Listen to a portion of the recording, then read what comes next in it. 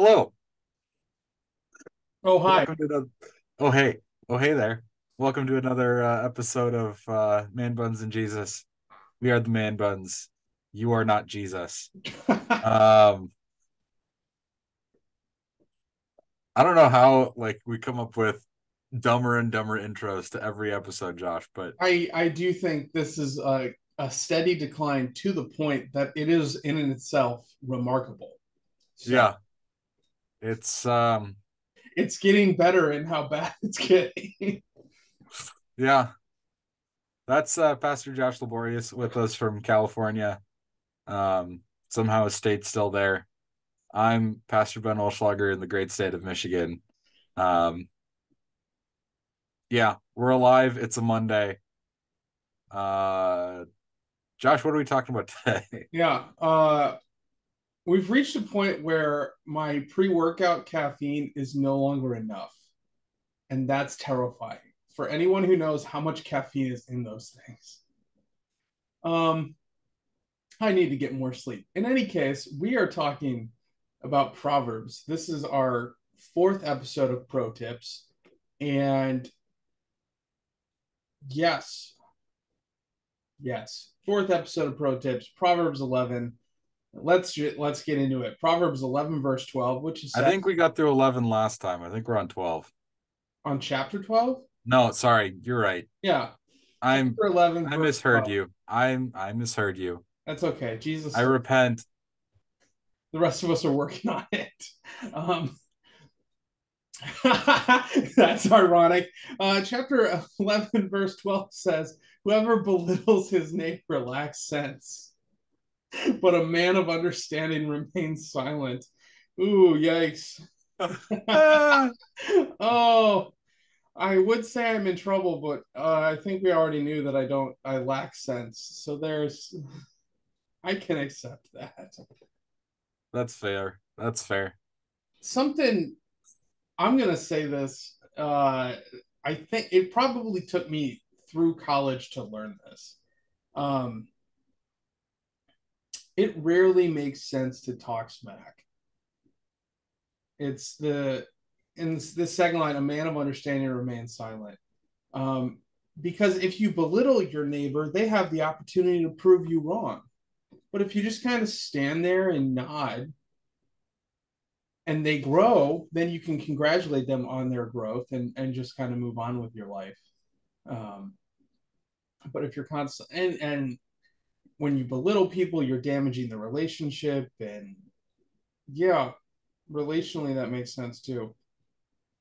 I want to explain a rule to all of our listeners. And if you think this isn't a rule and that there's no truth to it, please correct me. Um, because we had this conversation with my high schoolers last night. Men, for the most part, uh, obviously this is broad generalities, but men who are friends with other men or boys, guys, whatever, guys that are friends with guys will insult each other, and it is a it is not belittling, it is a mark of affection when you make fun of your friends. But the rule is you don't make fun of something that's true unless they have cracked the joke first. So if you have a super fat friend, fat jokes are off limits unless that unless they've made fun of themselves. Once they start cracking fat jokes, all bets are off. Go for it. Um, this is the rule of God. So if, if you have a fat friend but they're really smart, you can make fun of how stupid they are. Like this is this is a general rule for guys. Um, obviously I don't know from firsthand experience, but from what I've, I have observed and uh, and been told, women do not insult each other as a sign of affection. It is gener- it is generally sincere, and uh, so a note for that: if if you see guys interacting with guys and they're making fun of each other, it it probably doesn't they might lack sense, but that might be a separate issue. They're they're probably not belittling each other. Um, they're probably just friends who are making fun of each other, and that's a good general rule I've found. Is that is that a fair assessment of reality? I think so. And I don't know, just to put a spin on this that like kind of points to the truth of that statement. The funnest bachelor party activity I've ever been a part of was screaming things at a guy who was about to get married in a way that sounded insulting, but were actually very uplifting. The bachelor party is that you have been a part of are clearly very different from the ones that I have been a part of. Is all I'm going to say about that. Have you ever seen the videos of the guy? Uh, this is a little bit of a tangent, but if you're if you think stuff like this is entertaining, there's a guy who does polite cat calling. Yes. So he yep. like he has the loud horn and he, and he says, "Yo, girl, you look like you pay your taxes on time." Yep. It's it. I love it. It's. I think it's entertaining. Yep. Uh, so, verse thirteen, shall we? Yeah. Whoever goes about slandering reveals secrets, but he who is trustworthy in spirit keeps a thing covered. I think this is kind of a twofer in an unintended way. Well, I mean, it was Solomon inspired by God, so I'm sure it was intended, but continue. Okay, whatever. Um so like when someone slanders at least in our I'm going to I'm going to nerd out here for a second.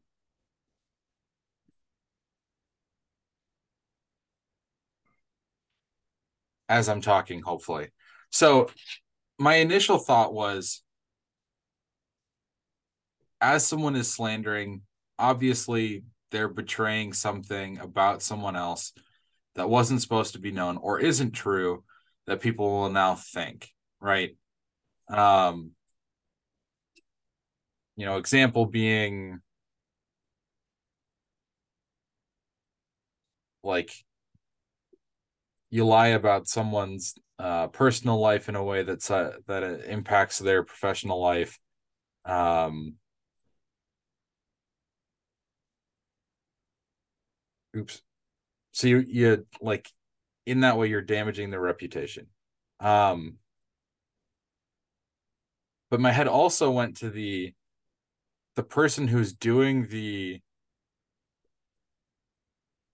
the like um doing the slandering they also betray something about their themselves as like a person of low character. Yeah well and to add on to that a lot of times and th- this isn't a rule this is just something that happens a lot when people are slandering others about something, a lot of times that is something that they themselves are insecure about. So they're revealing a lot of times that that might be a weakness of themselves also. So I yeah, I think the the secrets that are revealed aren't necessarily just the secrets of the the target of the slander, but also um, also of the the slanderer, as it were. Yeah, and I'm interested. I'm interested to know more about like what the word for slander is there, because oh, I'm going. Quick. That well, that's what I'm doing right now. For anyone who doesn't know, Logos uh, does not sponsor this podcast, although that would be super cool if they did if you hear this and have any pull at Logos and could get this sponsored, that would be super cool. But uh, Logos is a Bible software. I, I think most people would agree it's the best Bible software available. Um, it's it's super expensive, but that's you know, you you pay for what you get. Um, but it has all these books. It links all these books, but it also does a really good job of bringing out original languages, so the Greek and the Hebrew, and it'll tell you. Uh, it, it's a great tool. You have to at least kind of understand the language to understand what the tool is telling you. Um, but it'll give you translations. It'll give you the part of speech it is, what the conjugation of the verb is, what the force of the verb is, all of which is what Ben is looking up about uh, slander, which because this is Proverbs, it would have been written in Hebrew or Aramaic. For anyone who's curious, have I killed enough time for you, or are you still? No, I'm I'm good. Okay, so go for it. the the way that it's translating it seems to be the the most like standard take on the word, but it also kind of has the sense of informer or Mm. informant. So if you're a rat, you reveal secrets. Yeah. that checks out, right? Yep. Okay. Um yeah. And like I think generally the the rule of thumb should be if it's your secret, if it's not your secret to share, you shouldn't be sharing it. Right? You know what they say: loose lips sink ships. They did say that, yeah. Often in reference to men spending the evening with women of ill repute. Um Also, don't do that. also don't do that, yeah. But also like this kind of relates to the last thing that we were talking about too. Like it's easy, especially if you're um intent on slandering or intent on informing or uh Christian Standard Bible translated as translates it as a gossip. Um Heck, yeah, those seem very closely related.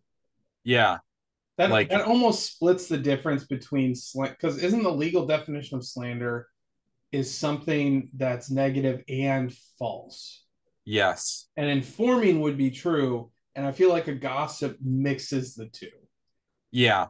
Some of the things so- that gossip might share are true, some of them aren't true, and they just kind of They're happy to tell the tale. share indiscriminately. Yeah, they're happy to tell the tale. And I think kind of what this basically says is when and where we can, we ought to be in the business of defending the honor of our neighbor Yes. because an eye for an eye makes the whole world blind. Um, and if your neighbor were equally as intent on turning around and destroying your life, they could do it in a heartbeat. Yeah. Well, and so that that comes that's part of Jesus' Sermon on the Mount, right? Is we're we're seeking to build up our neighbor, but another part is also I don't know if this is technically still the Sermon on the Mount, but he says, uh, "Let your yes be no, yes and your no be no. Don't swear oaths." And the the kind of the understanding that undergirds this, and this gets at the second half of this Proverbs verse, is for you to be able to live your life never having to swear by anything, where you just say yes. You don't have to say I promise. You don't have to say I swear. You you just say yes, and people take you at it.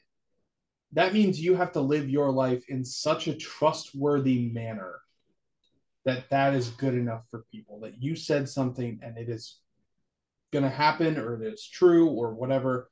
Um, which gets at this second part he who is trustworthy in spirit keeps a thing covered and i think it's valuable to be able to identify those people in your life who are that trustworthy spirit um, those people who you would trust at their word they say yes you know it's yes um, so Also, kind of like interesting parallel there to the role of your pastor. Um, Josh and I are not mandatory reporters, which is at once a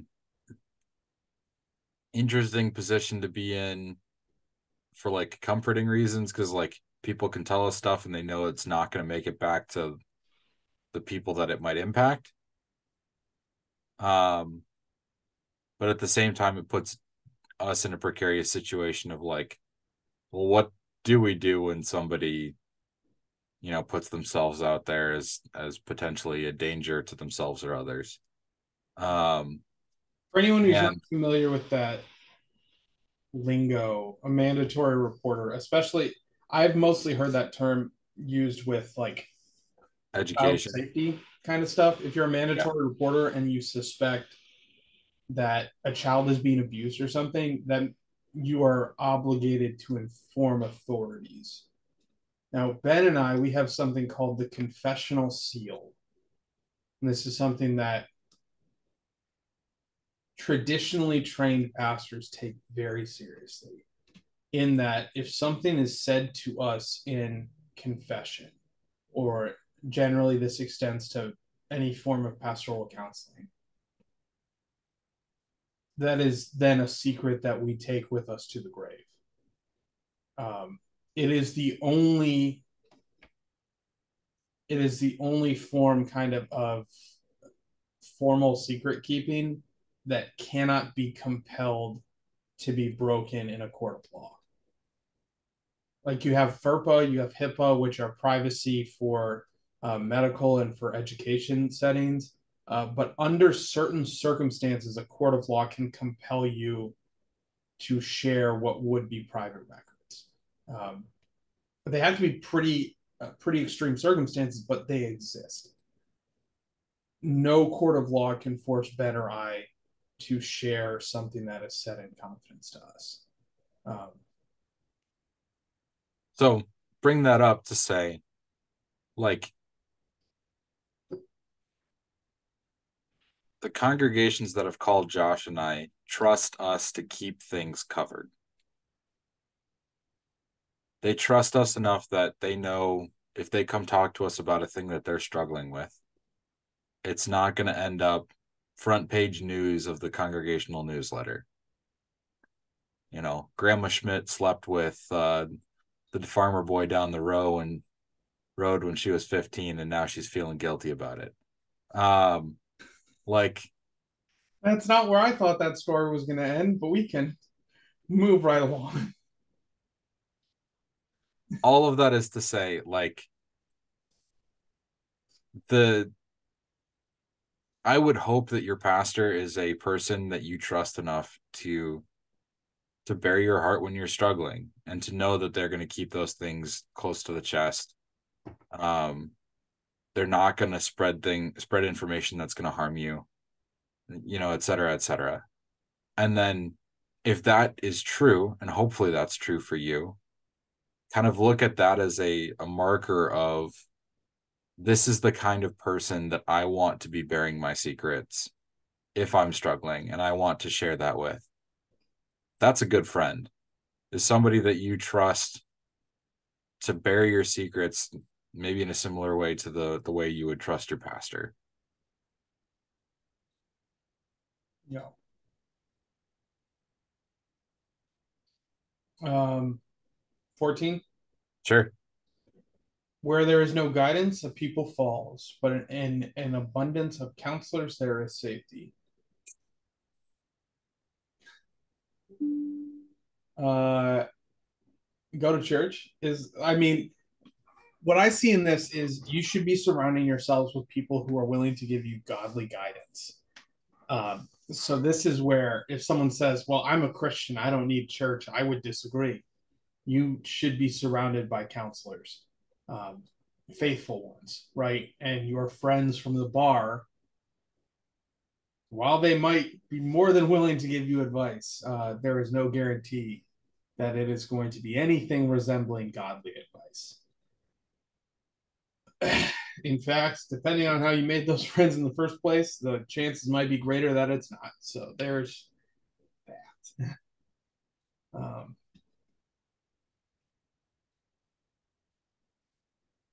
Yeah, I feel like this maybe even applies more broadly to like to more of a civic or civil realm like when we're looking at the way that we tackle problems excuse me tackle problems that we find in our communities like we can't assume that any one person has all of the right ideas.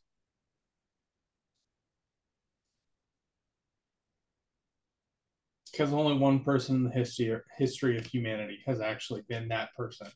Yeah, and his name is Jesus, and as far as I can tell, he hasn't come back yet. Yeah, and that's not um, something you would miss. Uh, yeah, I, you know, coming on the clouds. That's gonna go on Facebook in a heartbeat, and like, there's no way that you aren't aware. Um, right? I don't think it's it'll even take Facebook. Uh, you won't miss it. Yeah. I mean, it could happen on the other side of the world from you, so you'd you'd never like. I feel like it's God coming to Earth. You'd still not miss it. Touche. Yeah. Um, it'll be like one of those giant faces in Rick and Morty. Um, Show me what you got. Yeah. Um where was I going with this? I don't know. Oh yeah. So like I feel like we fall into this on on like a on an inter- intermittent level where like we trust a single leader in a lot of cases to have all of the answers to all of our problems rather than assembling a group of wise people to to help us process things. Um like we all we look in a single direction and we're like you know do do the work and we'll figure out how to make it happen. Um rather than working cooperatively trusting different people to use their skills and abilities you know yada yada yada yada um and especially i see this in government where like when you elect president they set the tone for the party and for the legislative session. When you elect a governor they set the tone for your state's legislature. When you elect a mayor it sets the direction for your city.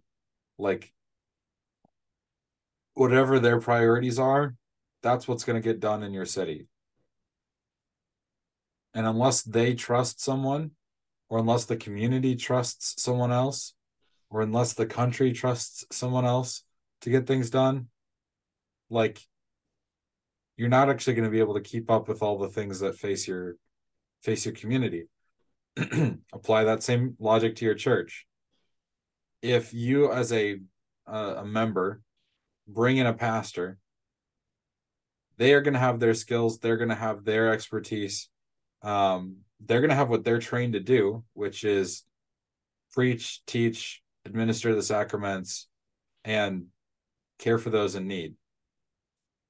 But there's only one of them, and they tend to burn out much faster than we ever want to admit. Um, so don't lean on your pastor for everything.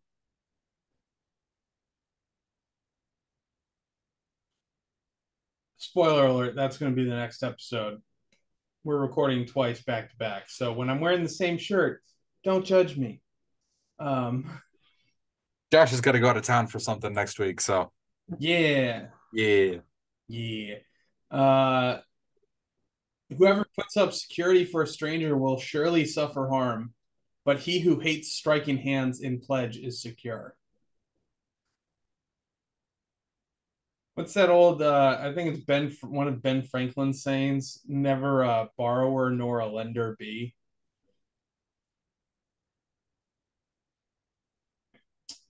I've always operated with well i shouldn't say that. As far as i can recall i've always operated with the attitude do not lend someone money that you can that you can't afford to lose and I I mean I think that's true. And when it says put up security, I think it's not necessarily just talking about money. It's also like don't uh don't back up someone's word with your like honor or reputation if you don't know them from Adam. Yeah. Yeah. Because they could be fine they could also be a con man or the scum of the earth. Like you don't you don't know them. So maybe get to know them. That would be a good Christian thing to do. Build a relationship and then you can decide whether or not you're you're willing to back them up. Yeah. That's typically a good place to start. And I think it also is is worth noting that it's talking about putting up security for a stranger. Like this is different than your son, daughter, brother, sister needs 500 bucks for a security deposit because they just graduated college and they're broke as dirt. Um, what are you talking about? Dirt has rare metals in it. It's a lot more than most college kids have. It's fair. they are broke as um the surface of the LA River. Um okay. Bare shattered concrete. Um anyway, they uh like when you have someone in your life that you trust, that you know that you have some confidence in, and they are in need, like you can have a sense of whether or not it's worth lending them money. Yeah.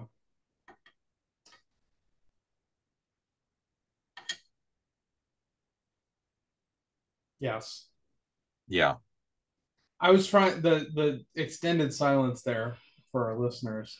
I was deciding whether or not I was gonna jump into a tangent, but I resisted. So tangent, tangent, tangent. No, it wasn't a good tangent. It was a it was a Josh has weird rules for how he plays his life tangent. Um, okay. Verse 16 A gracious woman gets honor. That seems to track. And violent men get riches. Again, seems like a fairly honest honest take on reality. And I think if you look in American society today, for the most part, we do not solve things with violence in the literal sense. But if you look at men who are hyper successful, in, in fact, if you just look at people who are hyper successful, it is because they are aggressive in pursuing the things that they want. Um, so if you're willing to say violence in a more metaphorical sense, this is still incredibly true, even in our daily lives. Yeah. Um, I mean, what was the? Oh, his nickname was Pharma Bro. I can't remember the guy's actual name, but it was a a young CEO of a drug company who came in and made the company extremely wealthy by just taking up the or taking the medications that they had that were uh like essential for covering certain very rare um diseases and uh what's the word I'm looking for? Yeah, very rare like diseases and and other health issues and jacking the the ever living daylights out of the price. Because people still needed the drug in order to survive. And he didn't care that it was crippling people with debt to make it happen. And like to me that's just it's ruthless violence.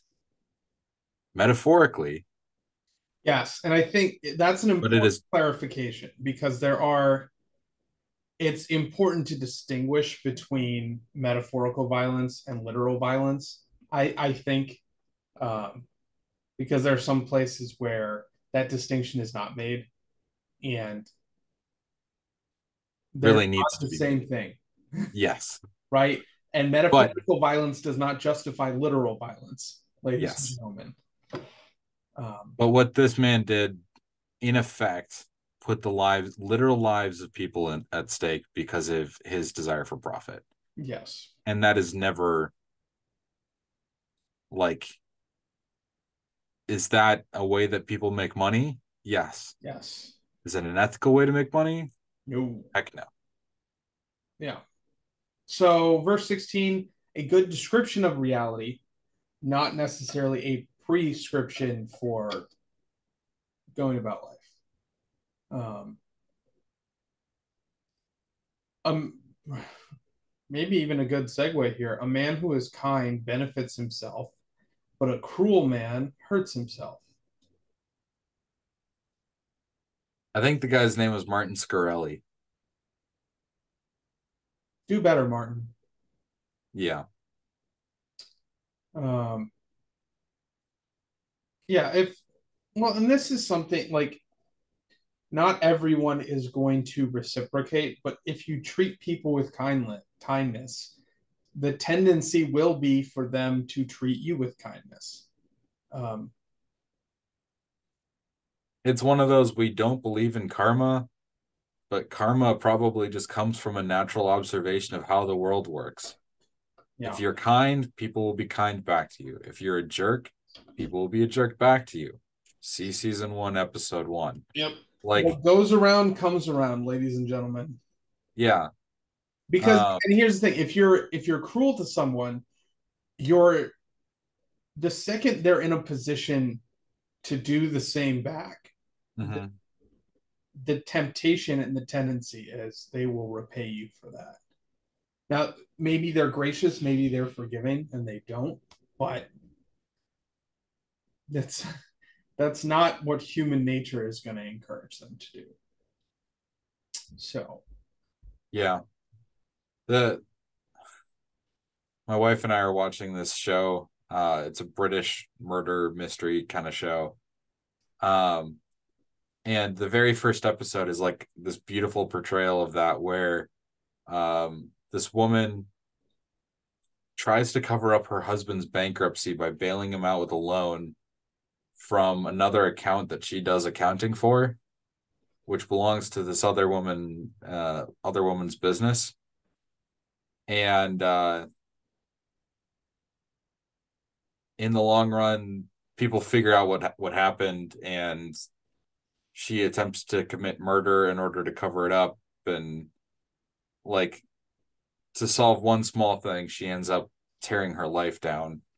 Um, and it's it's never worth it.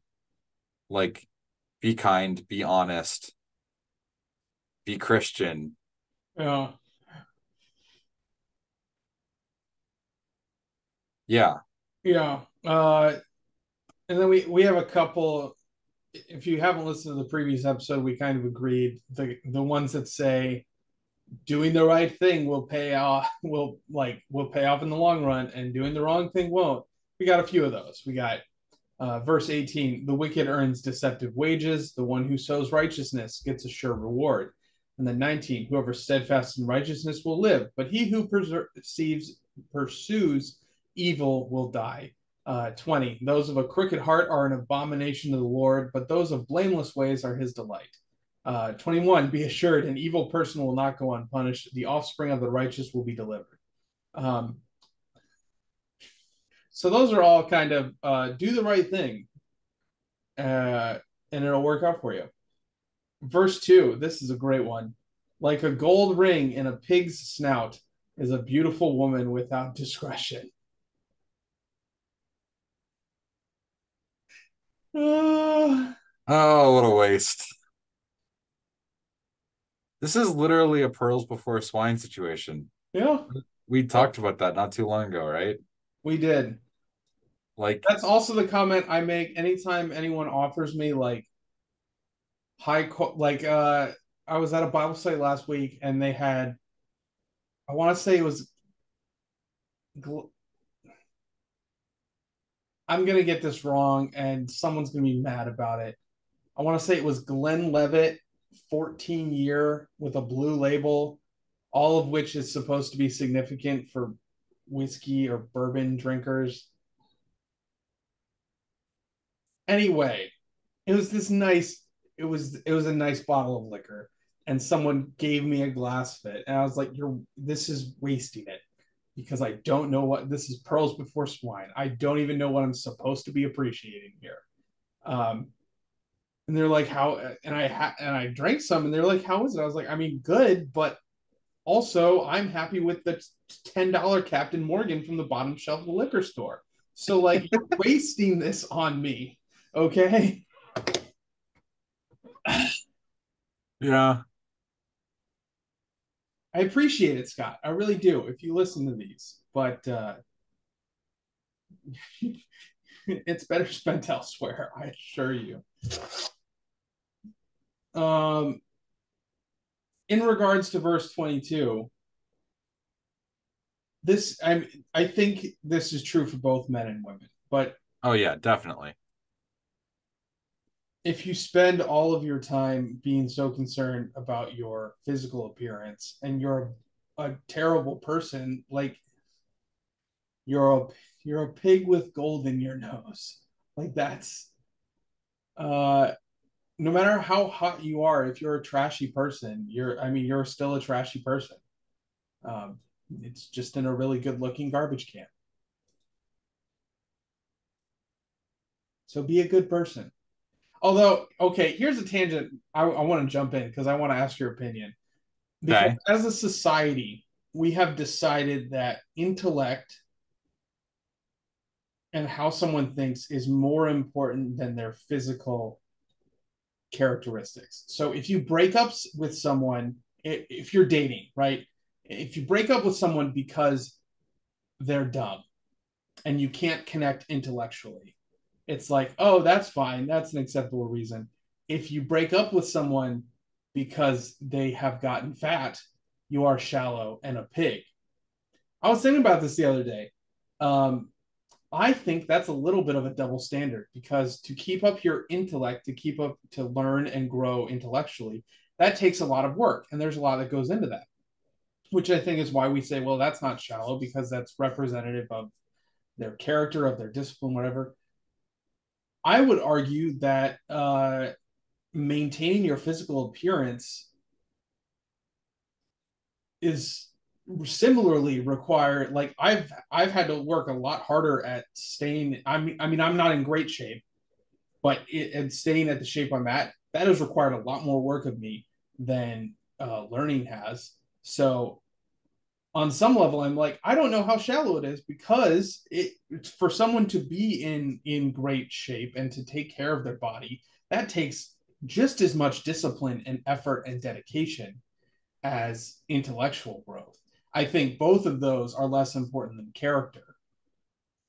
But when i read this i'm like don't completely discount our bodies which is also that's what is it? Platonist is that the is that the right? It's also a form of not it's a form of Gnosticism. Yeah, that's the one I'm looking for. So, all of this to say, I I think sometimes we don't give, and I'm saying physical appearance, but I'm really going more with fitness. Enough credit. I think the fine line to draw there is why their fitness is suffering. Yes. Because for some people, fitness suffers like I'm I'm of the the the class of the world that struggles with his weight due to stress related reasons. Like when I'm stressed, I put on weight. I can't really help it that much. Um, my activity level doesn't change that much. I just put on weight. Yeah. Um, and so that's like it's a constant battle for me as to to like where that kind of lies. well, and the flip side is the same because there are people who are in great shape and they never do anything for it. True. So Maybe maybe the way to look at this is less like physical appearance, less more what work fitness, just like take care of how invested are you in taking care of yourself? Yeah, I think Yeah. it's fair. But it, it's something I was I was thinking about in the gym the other day. I was like, you know what? this stuff is a lot of work. Yeah. If someone's not willing to put in this kind of work to take care of themselves, I think that's a valid reason to be like, mm, that's a no for me, dog. Mm-hmm. In like a dating relationship. Um, anyway, these are the things that I muse over because I'm when I'm in the gym. Anyway. Uh, but I do love the image of a gold ring and a pig snout. In fact, if I, I think if I had a pig, I don't know why I would have a pig, but if I had a pig, I think I might put a gold ring in its snout. Not like a real gold ring, but like a, a faux gold ring, because that would be one swagging pig. uh, don't buy me a pig, Ben. I will send it back. No, I was just trying to see if I. This is this is exactly what I was hoping for. Um, I found a stupid cartoon image of a pig with a bandana and sunglasses and a nose ring. Good, good. Yeah. Gangster pig. I love it. Um, yep. More pirate pig than gangster pig. Even better. Yeah. Um, continuing on, the desire of the righteous ends only in good, the expectation of the wicked in wrath. Um, here's one, verse 24 one gives freely, yet grows all the richer. Another withholds what he should give and only suffers want. Hmm. This is an approach to, to wealth kind of thing, isn't it? Because if you're if you're willing that's a you are in my midwestern accent by the way. If you're willing to um to be generous with what you've been given you see the the like implications of what you can give and how that can impact people's lives. And if you don't like if you're not generous with what you have then you're never really going to understand what the money that you have can do. Yeah. I and i think there's also just an, anecdotal truth to this. When you're giving in the sense of you're giving your time or your money to god he's not going to leave you hanging. He he's going to provide, and uh, yeah, there's some there's some truth to that. There's a lot of truth to that. I think yeah. whatever for whatever I think is worth. Yeah, whether it's a divine feedback or just like you will have a greater appreciation for what you have already when you are generous with it I think either one of those applies as a very strong truth out of this proverb. Yeah. Well, and it's continued the next few proverbs. Um, Whoever brings blessing will be enriched, and the one who waters will himself be watered. And then on the flip side, the people curse him who holds back grain, but a blessing is on the head of him who sells it. So it's more of this uh, generosity is like it's going to work out for you, I suppose. It's it's more of the theme what goes around comes around. Um Yes. We good to step forward. I know we're we've been running for a minute here and we still got a few verses. So yeah, let's just let's just cruise through through these last few. Okay. Um, whoever diligently seeks good seeks favor, but the evil comes to him who searches for it. Duh. Um, whoever trusts in his riches will fall, but the righteous will flourish like a green leaf. Whoever troubles his own household will inherit the wind, but the fool will be a servant to the wise of heart. Let's pause on that one for a second there. Will inherit the wind. Yeah. Is this an Avatar the Last Airbender kind of thing? Because I'm okay with that. No, Unfortunately, not. I'm thinking of. I'm trying to think of situations where inheriting wind would actually be good, but unless you're like, an old timey sailboat captain. you just get a bag and you can open it and it pushes your sails forward. Yeah, exactly. And everybody else is like, we have gasoline, so that does that for us. Yeah. It's expensive, but you can just buy it at at the store, at the gas Yeah. station. I I saw this really funny article the other day for um that there's uh movement towards using uh sails on large cont- uh, container ships again to help like make them more efficient and Ah, I also saw that article. and it was like praising the It's merits technology. It's like Yeah. praising the merits of this newfangled technology called sails that have existed for literally thousands of years. Um yeah. oh, we're going back. We're going back. Um, maybe the Amish had it right. Continuing forward, uh, the the fruit of the righteous is a tree of life, and whoever captures souls is wise. Um, so I guess be more concerned about spiritual than anything else. Yeah. That's that's interesting because the the fruit of the righteous, like this is very Jesus-y. Like this is New Testament language. You don't find this as much in the Old Testament. So that's a cool connection. Um, and if the righteous is repaid on earth, how much more the wicked and the sinner? And I think this this has some anecdotal truth as well in that sometimes when we talk about righteousness, a lot of times we talk about the reward being heavenly. Being like you're not going to experience this reward until the afterlife but a lot of times we'll see the punishment for the wicked and the sinner be much more immediate. And it's something we which i think is a function of our merciful god in that punishment and discipline in this life gives you an opportunity to repent and to turn to faith and to receive forgiveness. Whereas if you don't get your punishment until the end it is too late and you're stuck with hell. So I think even punishment in this life, I think that's an act of mercy. Uh, Yeah. And it's God trying to encourage repentance um, and bring people to faith.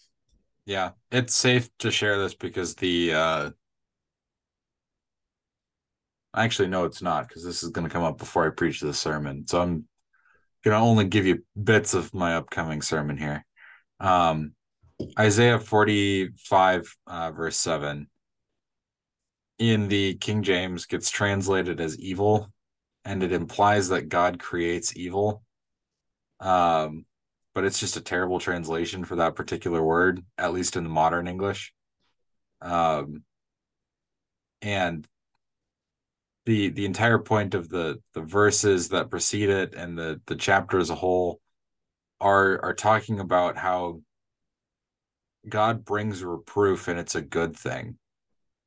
God brings calamity down on people and it's a good thing. It like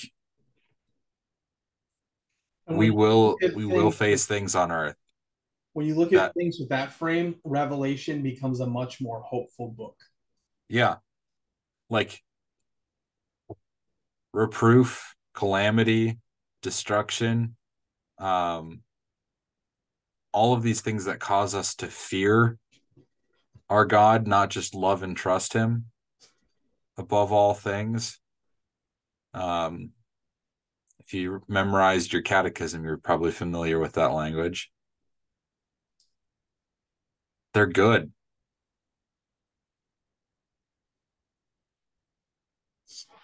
and we should we should be willing to accept like there will be things in our lives that knock us off our feet a little bit but it's in order to remind us of how god is caring for us in the midst of all of it and not just when we're at our lowest Yes.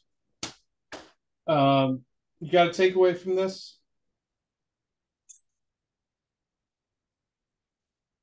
yeah don't be a jerk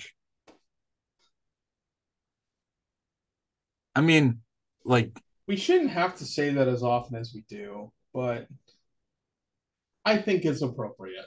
Yeah, I think to to kind of expand it though, this this particular set of passages spends a lot of time kind of thinking about cause and effect.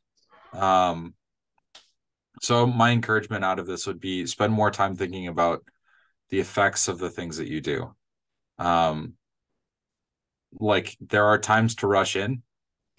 There are times to to make a hasty decision and and go for it and um you'll know when those come up because you don't have time to like make a deep thoughtful decision. But if you have time to follow Treebeard's advice.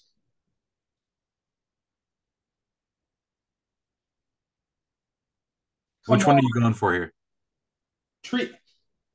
Don't be hasty. Ah. I see what you're saying now. Talking about pearls before swine, man. Hey, hey. I I thought you were going for we and uh we and what's the what's the phrase? We Ents like to take our time or something like that. he does also say that. Yeah. So pardon my, my okay, okay. lack of immediate I guess I can accept that. Yeah. I think my takeaway would be closely related, and that is what goes around comes around. So so make sure what you're sending out is something you want to get back. Um, share this podcast if you think it was if it, if it was worth people's time. Go ahead and give it a share. We appreciate that. Uh, if you can rate us on whatever platform you listen on, that does help the show out. We we would love to see it grow. Um, just because we think that would be cool, and we think it's a worthwhile product to put out. And uh, we have Facebook page. If you don't have our contact info and you want to contact us, you can use the Facebook page. And that is for topic suggestions. That is for um, if you want a certain guest host on or you want us to bring you on. We're okay with that. We'll bring on listeners. Uh, you just got to let us know and probably bring your own topic. And um, that's what that's for. And we we do sell a shirt if you want to buy a shirt. Go to edgewaterlutheran.org slash gear and the shirt is on that list on that page. You might have to scroll down a little bit but it's on there. So uh, with all that brothers and sisters go in peace. Serve the lord. Thanks be to god